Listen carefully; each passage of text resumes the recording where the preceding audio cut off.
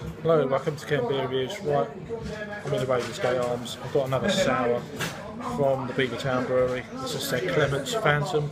It's their orange and lemon sour. So it's coming in at 4.7% ABV. Let's get aroma. Obviously lemon. You almost, you're almost um, getting the aroma of the sourness in this beer. Anyway, let's give it a try. Cheers.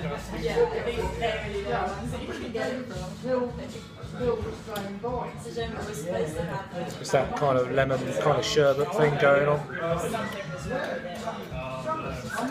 Then you get the sourness straight away.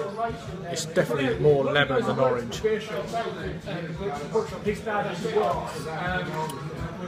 Very refreshing, especially on a hot day like today in Ramsgate. This, this is about a 10 minute walk from where I live, so I'm really lucky they've got a tap takeover from the Beavertown. So it's a late night brewery pub.